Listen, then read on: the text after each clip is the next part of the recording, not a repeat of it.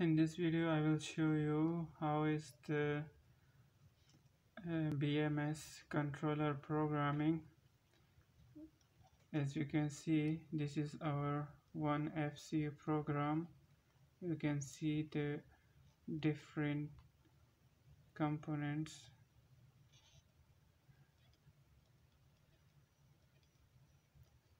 You can see the next page it's a two page program. This is how the BMS program is generated.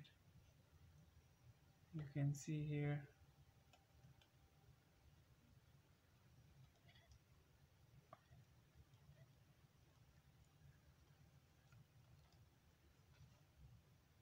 this is the end of the program.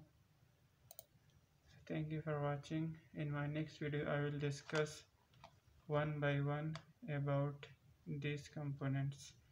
So please watch my next video. Thank you for watching